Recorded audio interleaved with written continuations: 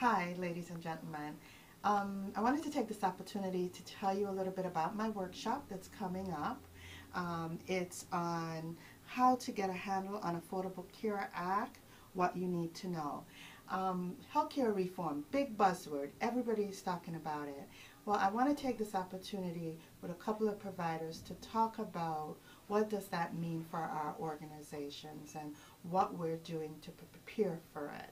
Um, the participants of the of the workshop will have an opportunity to share amounts themselves what they've been doing and then they're also going to have an opportunity to hear what Palladia have been doing and to hear a little bit about the New York scene. You know New York, we always have to have extra stuff going on. So I'll, I'll talk a little bit about that and um, get them to focus on some tools that they can use to help them assess and prepare for it and also to get folks to you know be comfortable with some of the language that's out there um, providing them with, with resources.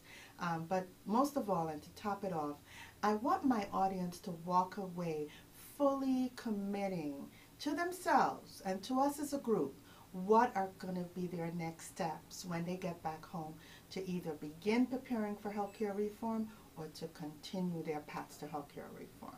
Thank you.